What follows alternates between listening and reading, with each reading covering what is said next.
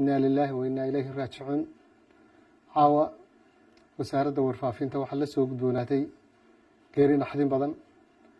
Waxaa qarax lagu dilay ay soo maleegeen cadowgu agaasimihii radio muqdisho cabdicasiis maxamuud guuleed cabdicasiis africa waxaa sidoo kale dhaawaca oo dhaawac ka soo gaaray qaraxaas agaasimihii t v-ga qaranka sharmaarke maxamed warsame. Waa geeri naxdin leh iyo dhaawac naxdin leh.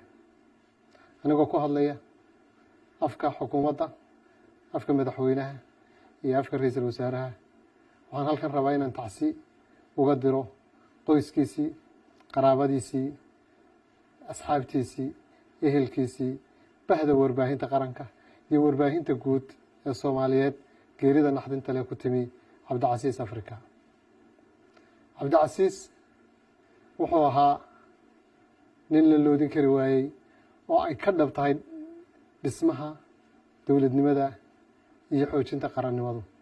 Wuxuu naftiisa u tadxiyeeyey sidii soomaaliya ay u yeelan lahayd dowlad adag oo dhidibaada ku taagan oo amnigeeda iyo dhaqaalaheeda iyo nolosheeduba ay sugan yihiin.